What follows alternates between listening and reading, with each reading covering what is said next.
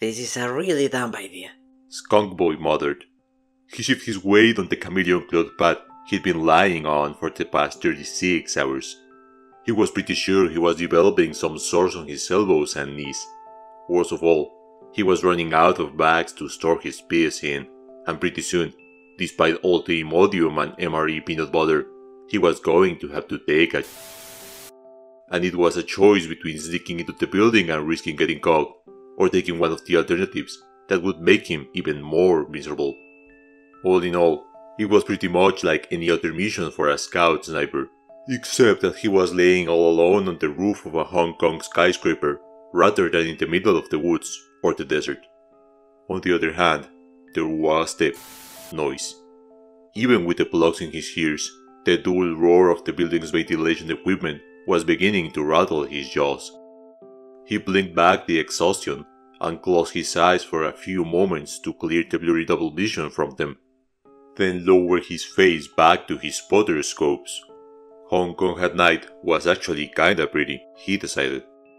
It was just a shame that he wasn't going to have the chance to do any sightseeing, except for the small stretch of warehouse near the docks. A flicker of lighted movement caught his attention.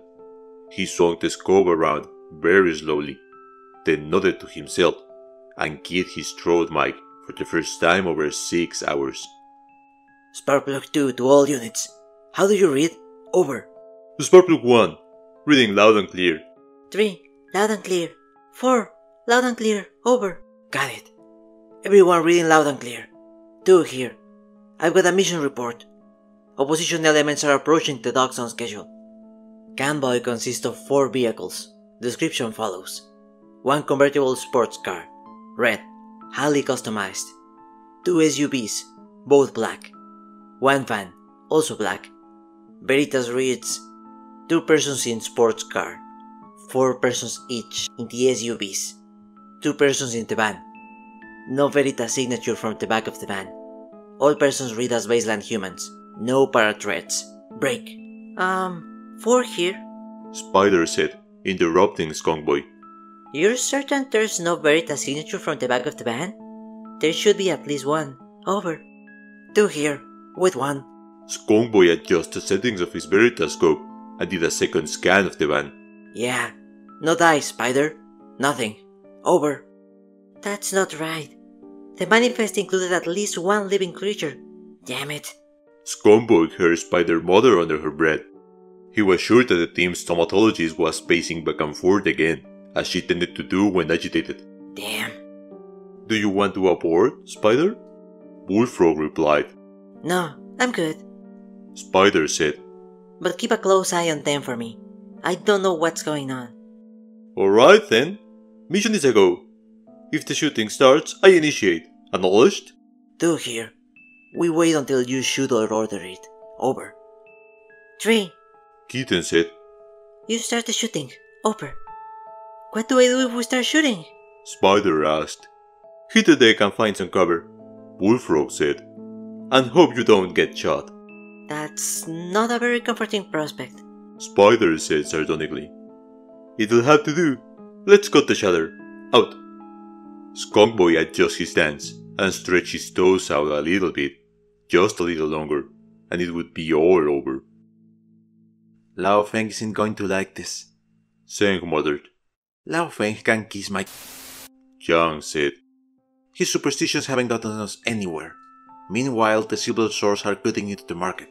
Girls, guns, and drugs aren't going to cut it anymore. We need to get in on this on the ground floor. This isn't like running hookers or heroin, or even guns. Zheng insists. This is more like getting involved with dealing nukes or chemical weapons. I don't like this. It wasn't a new argument. The two men had argued these points many times in the past few days. Every time, the disagreement ended the same way. You'd rather let Shi Wang Shou and his dogs run all over us?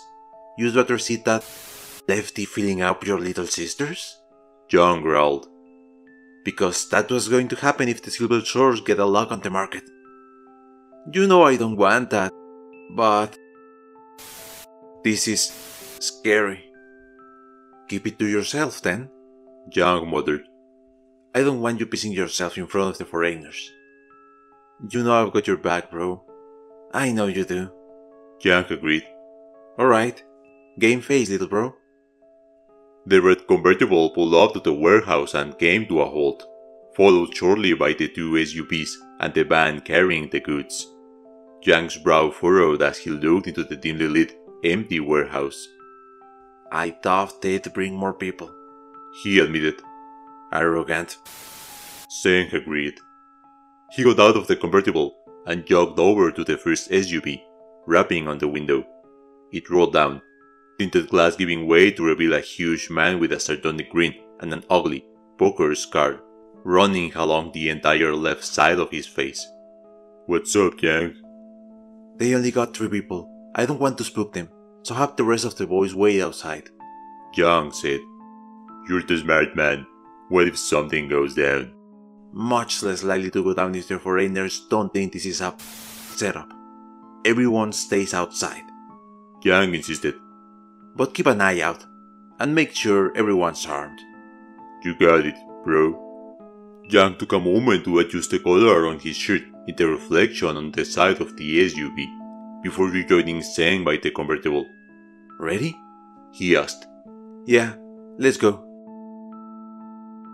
There were three of them waiting inside the dimly lit warehouse.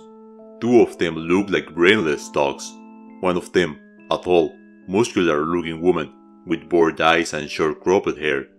The other was a short, stout looking man with a big beard, whose ill fitting suit stained to contain his broad chest. Yang marked them as soldiers, probably bodyguards for the third, an Asian woman, wearing a well tailored suit, fairly young, and attractive in a broad hipped sort of way. She was nervous, despite her best efforts to hide it. She kept pushing up her glasses and fiddling with her expensive looking tablet computer. Maybe a new lieutenant for the actual boss. You're late, she said irritably as Yang walked into the warehouse. And you brought too many people with you. Are you sure you didn't bruv enough? Yang said, grinning disarmingly. If I were carrying that much cash on me, I'd have brought more than two guards. I did. The young woman said curtly. She fiddled nervously with a lock of her hair. Tell the dog outside to please look down at his chest before he gets any more ideas about sending teams to flank us. Yang turned and looked out the door and pushed his lips before nodding to Zheng. Face! Zheng growled into his walkie-talkie. Quit trying to be clever and tell the boys to go back to the cars. But... Look at your chest, you idiot! Zheng snapped. The foreigners have you in their sights. There was a brief bout of cursing over the radios as the scar-faced goon finally saw the red dot floating on his chest, and a flurry of movement and shouting as a bunch of guys sheepishly emerged from the shadows and jogged back to the cars. I thought that snipers usually don't use laser sights, Yang mused. especially not visible light ones. Consider it making a point. The woman said, sighing in relief. Now that we've gotten that out of the way, shall we move on to business? Skunk Boy carefully turned off the laser pointer and slid it back into his pants pocket. It was a silly trick, but one that worked pretty well for intimidation purposes.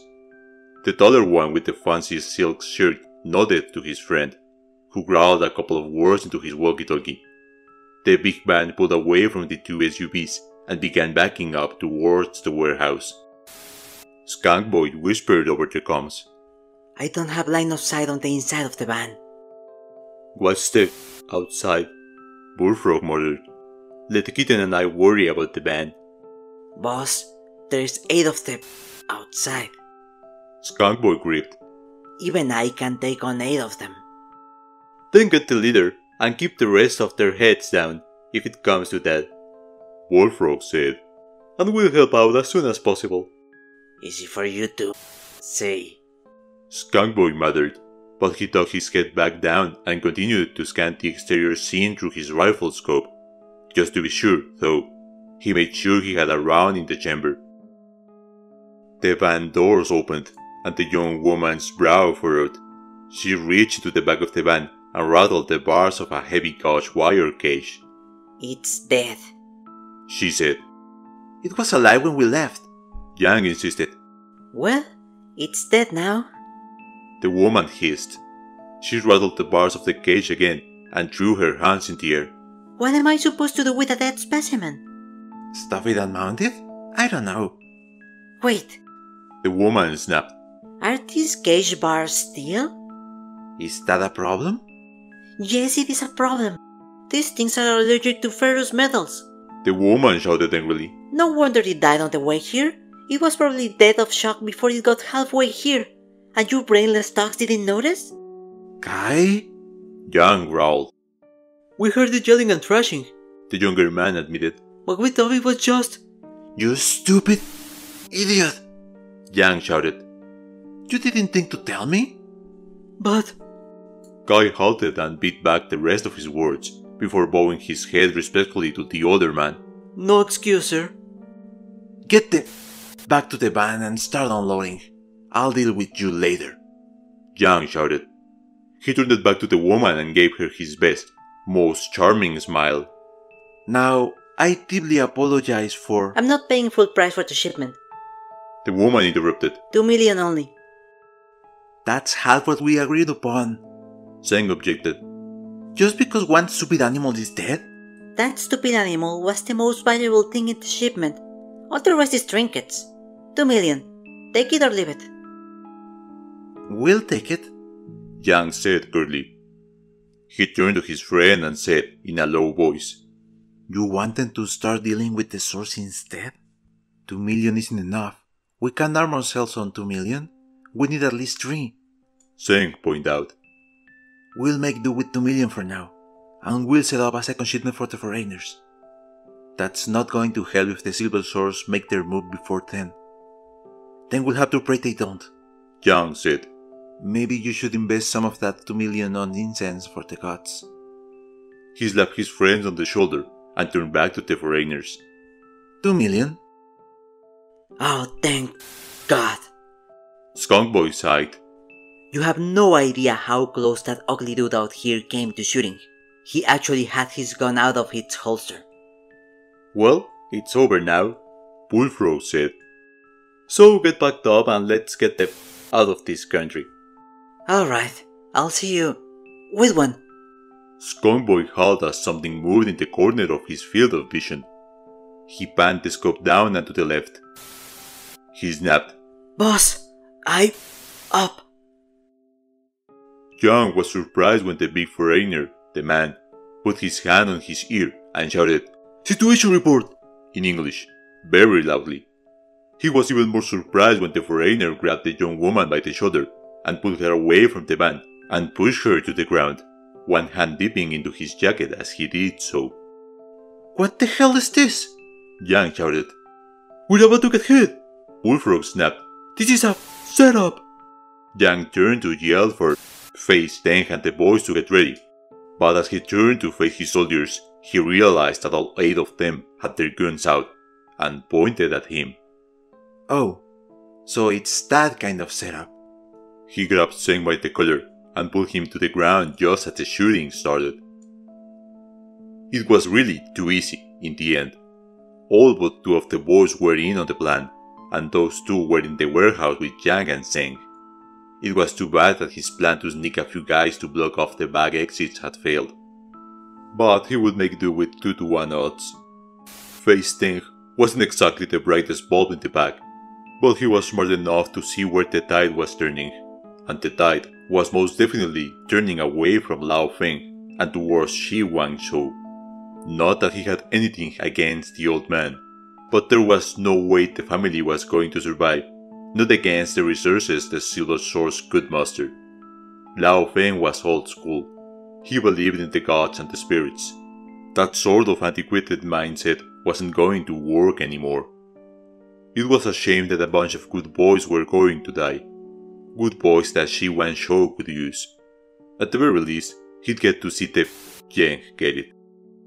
Skunk boy! Bullfrog shouted over the comms. Take this out! Can't! Skunk boy shouted back. I've got three vehicles full of triads coming up the road. Bullfrog shouted. He was seriously hating this entire mission. Bullets were snapping past his head and splintering the wooden crates behind him and punching holes in the side of the van. He could already see one of the triad guys laying on the floor in a pool of blood. A second was huddled behind the van's wheel, weeping and cursing as he tried to stop a wound in his leg that was spurting blood. A second burst of gunfire skipped off the concrete and into his gut, and he slumped over, breath gurgling. The two remaining gangsters had managed to get behind cover along with his team. The boss guy with the fancy shirt and his friend with the angry eyes. They had pistols in their hands and were firing wildly over the tops of the crates before ducking back down as another burst of gunfire stitched through the air. The situation, Bullfrog realized, was looking pretty much unsurvivable. He was pinned down by a force with superior numbers and firepower. He had the advantage of cover for now, but it was only a matter of time before the enemy managed to flank him. Then he was going to die. It was time to do something stupid. Kitten! He shouted. The tall, weary woman glanced up from her position. Her expression had not changed one bit from its usual boredom, even when a close burst caused a bullet to whip by so close to her face that it actually ruffled her hair. Bullfrog slid his pistol across the concrete to his teammate. Go start, son! He shouted. Kitten's eyes lit up, her mouth twisted into a fierce, angry grin. Bullfrog saw her draw the biggest knife he'd ever seen from some hidden sheath under her suit jacket and hold it in her teeth. She closed her eyes for a moment, inhaled once, long and slow, exhaled sharply. Then she moved. Skunkboy had a bit of a love-hate relationship with the United States Marine Corps. On the one hand, they'd taken half a decade of his life, forced him to endure food and idiotic colleagues, and basically given him nothing but hatred and contempt for the modern military. If he had to deal with one more slogan spewing jarhead in his life, it would be too much. When the recruiter had asked him to re-up after his first term of service, He'd laughed at the guy to his face. On the other hand, there were times when the Marine Corps' way of doing things could be useful. Like when you were a lone marksman on the roof of a Hong Kong building, trying to stop three big bands full of bloodthirsty triad gangsters. At times like those, there were few things that felt more comfortable, more familiar to him than his old Parris Island indoctrinations. This is my rifle, he murmured as he shifted over to his weapon and lined up his shot. There are many like it, but this one is mine. He was going to have to time his shot perfectly. It would be best if he could catch the convoy just as they were about to exit, where the street narrowed between two warehouse buildings. My rifle is my best friend. It is my life. I must master it as I must master my life. The driver. That would be a tough shot. Maybe he should go for the engine instead? My rifle, without me, is useless. Without my rifle, I am useless. I must fire my rifle through. Deep breath. Inhale, exhale. Take up the slack. Line up the shot. Get into the rhythm of your own beating heart. I must shoot straighter than my enemy, who is trying to kill me. I must shoot him before he shoots me. Crack. The first round was a good one, but Skunkboy was already working the bolt and lining up his second, even before the first round hit home. He had barely enough time to see the bullet punch through the hood of the vehicle, enough time to see the hood start to spew smoke. He fired his second shot, was gratified to see the driver's side window shattered, but the driver had slammed the brake so hard that the car behind it rear-ended the lead vehicle he saw the driver stumble out of the door and start yelling and waving to his allies. I will. Crack. Skunkboy saw the driver of the lead car stumble and slump to the ground, rolling in agony as he clutched his abdomen. The guy riding shotgun was trying to lean over and get the car moving again, so Skunkboy put another round through the hood for good measure. Then he got to work. Face Tank's first warning was when the two smoke grenades came rolling out from the dimly lit warehouse and began spewing red smoke all over the area, causing the world to become shrouded in a scarlet mist. In the light of the street lamps, it gave the entire place a hellish air. Watch it! He shouted to his teams. They may try to escape through the smoke. There was the sound of rapid moving feet. He saw the tall female foreigner sprinting across the open court. Her eyes were wide and wild, and she had a giant knife in her teeth and a gun in each hand. Phase 10 wanted to laugh. Everyone knew that there was no way in hell to shoot straight with a gun in each hand. The foreigner had been seeing too many John Woo action movies. He ducked behind the van as a wild fusillade of gunfire snapped towards him and the boys. The shots were mostly wild and failed to hit anyone, as expected. All he had to do is wait for the to run out of ammunition, and then he saw Doughboy Lou go down. Something spun in the air where it had bounced off his forehead. One of the two pistols the had carried. Featherhead guy tried to shoot her, got his submachine gun kicked out of his hand, and then she beat his face in with the butt of her empty pistol before slashing open his throat with a huge knife. She'd never intended to hit anyone. The pistols were just to keep him and his boys' heads down while she closed the distance. She slid the empty pistol back into the direction of the warehouse, where the big male foreigner stomped it with his foot and reloaded. He raised the pistol in a two-handed grip and began firing slowly and methodically, hugging the wall of the warehouse.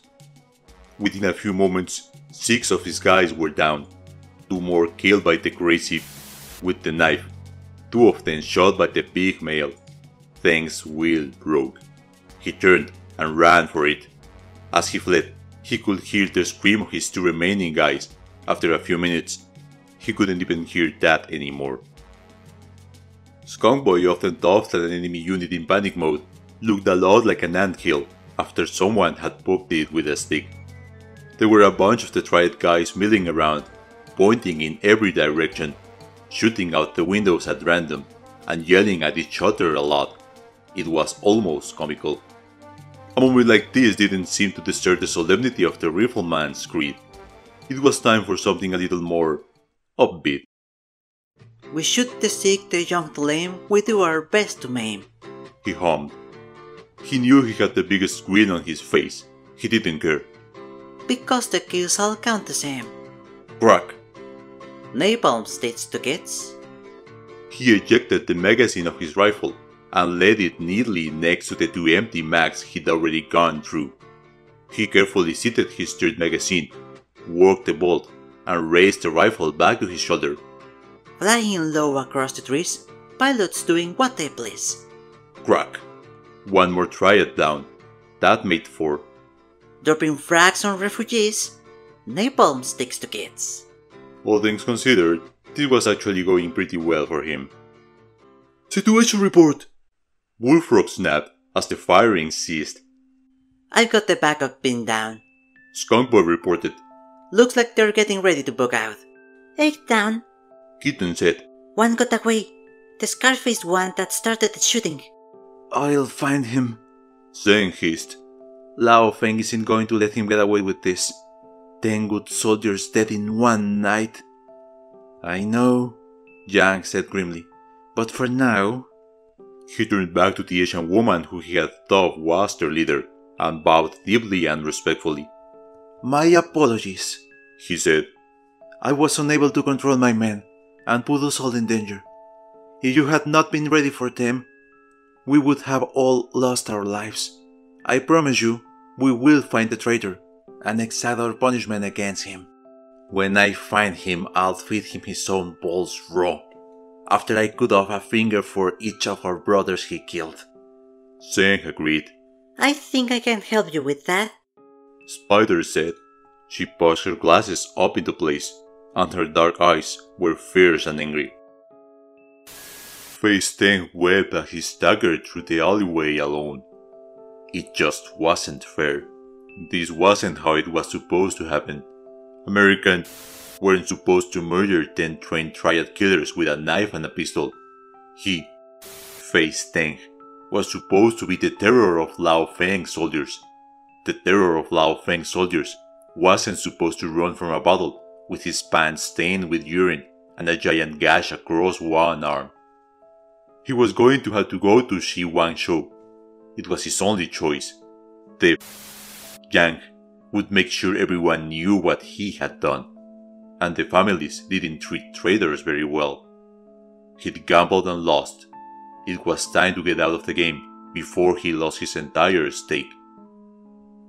He was stepping out into the light of the rising sun when he felt the pain stab into his lower abdomen. He screamed as he crumpled over and clutched at his stomach, then began to howl in agony as a burst of blinding pain started at the base of his spine and raked slowly up his back. Then he clutched at his eyes and wept as what felt like pure fire stabbed into his optic nerves. As the sun rose over Hong Kong, the man they called Face Teng whistled and howled in agonizing pain, unable to do anything but huddle in the shadow of the abandoned warehouse and scream. Spider gave the burlap doll one more vicious stab in the groin for good measure, before pinning it to the side of the van with Kitten's knife. She had stitched the doll together many weeks before, filling it with graveyard earth and a dash of silicon oxide. It only needed a link to her indebted victim to provide the contagion it needed to find the target. A link like the blood kitten had drawn when she had, spectacularly, slashed open the unfortunate thing's arm with her kukri. Are we done here, Spider? Bullfrog asked. Yeah, we're done. She turned to the two triad leaders and slipped back into her childhood Mandarin. You'll find your traitorous dog of a former colleague at the east side of the docks. He'll be screaming in agony. Don't take the knife out until you find him. Who the hell are you people anyway? The fancy man in a nice shirt asked. Don't worry about it. Spider replied, smiling disarmingly. Better to think about what you guys are. Which is? The ones who rotted out the trader working for Shi Wangshou and brought him back to Lao Feng alive. She hopped into the back of the van alongside Kitten and Bullfrog, who had finished loading the goods into their vehicle while she had performed her working. She gave the two perplexed looking Chinese gangsters a cheerful wave as the three of them drove out of the warehouse. You do realize? Kitten pointed out. That we need to retrieve Skunk Boy. Evade the Hong Kong Police Department and somehow make our way back home now, right? Yep, Bullfrog said. Just wanted to be sure. The tall woman leaned back her seat and closed her eyes. A few moments later, she started snoring. Sometimes I envy that crazy. Bullfrog admitted. That wasn't exactly what I had in mind when I agreed to join this operation. This you will find said to the shimmering image of the old Chinese man, sitting in the chair across from her. The objectives were met. The shipment was stopped. The mole was rooted out. And soon, Shi Wang Shou's illegal operation will be halted. Lao Feng, leader of the immortal Lily Brotherhood, said. He picked up a teacup that didn't exist in Old Fine's office and took a small, measured sip before wiping the rim with a napkin and putting it back down on the tea table. We also shoot up a Hong Kong warehouse, killed over a dozen guys, and brought the attention of the Hong Kong PD upon the entire thing. Old Fine pointed out. I hope whatever you found out from the informant was worth it. It was. We confirmed that Shi Shou found and took over an abandoned factory manufacturing plant and reopened it. He has been pumping out threat entry level artifacts daily. His quality is shoddy, but his prices are much cheaper than his competitors. Lao Feng laughed and shook his head. The irony was not lost on me. Will you need our help in taking them down? I could dispatch a couple of strike teams. The day the Immortal Lily Brotherhood needs your help in a war against its rival gangs is the day we finally join your global occult coalition. Lao Feng said, smiling properly. No, I thank you for your help, but we shall handle this matter ourselves. Just as long as you hand over all factory assets to the coalition. Old Feng insisted.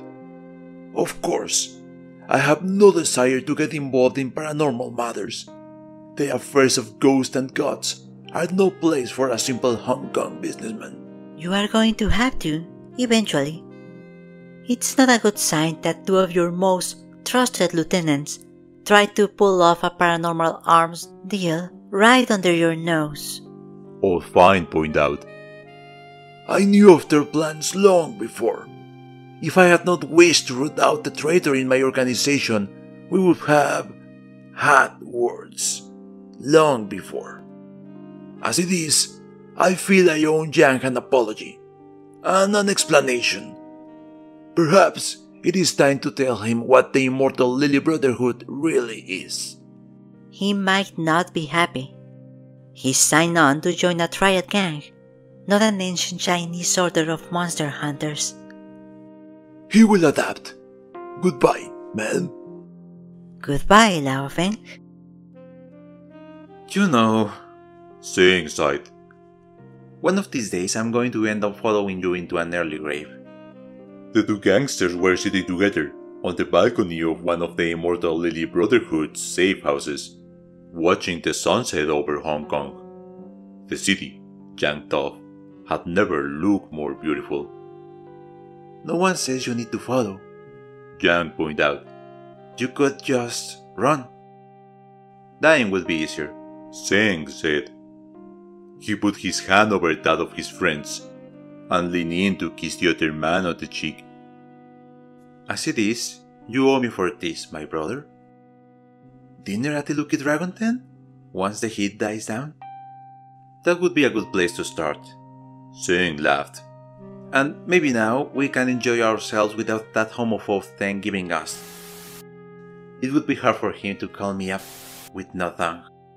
Yang agreed. He kissed Zheng back, and the two men shared a brief moment of affection before walking back into the apartment and turning out the lights. Outside, the sun finally dipped below the horizon, shrouding the city in twilight.